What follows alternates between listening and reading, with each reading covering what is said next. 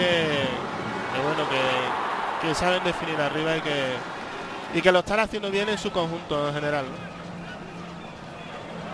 Es que te digo una cosa, viendo yo digo que hoy a lo mejor el partido no da para sacar muchas eh, lecturas muy muy experimentadas porque al final es que también se lo ha puesto fácil Zimbabue. Eh, a Diallo no lo hemos podido ver ni en el partido del otro día frente a Túnez ni hoy, es decir, la portería, pero tiene pinta de estar bien cubierto.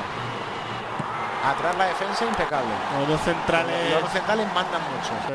En el medio campo, Buyate y, Luisa que llegana, jugadores de West Ham y de Everton, el oficio lo conocen. Y luego de medio campo para arriba seguramente tiene lo mejor. Efectivamente, es lo que tú dices, lo, que, lo que hay que verlos ahora con un equipo contra un equipo con más entidad. ¿no? Es cuando veremos realmente a dónde puede llegar esta Senegal. ¿no? vemos el tanto de Henry Saibet, un golazo.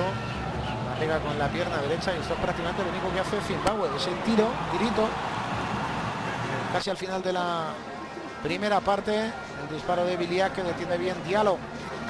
Y luego en la segunda mitad lo que ha habido es una cantidad tremenda de oportunidades. Es que a lo mejor cinco y nos quedamos cortos. Claro que la ha tenido Mame Diouf ha tenido dos o tres seguidas. Keta Valdía ha tenido otras dos. Musa Soba ha tenido dos. Sobre todo el pobre Mamé, ¿no? Hoy en día, hoy no estará contento con, el partido que ha hecho de cara al gol. Esta de Sadio Mané. Efectivamente han llegado luego unas cuantas muy seguidas en los últimos 10 minutos. Todas uno para uno. El lamento de. Bueno, pues con esto vamos a ir cerrando la Copa África por el día de hoy.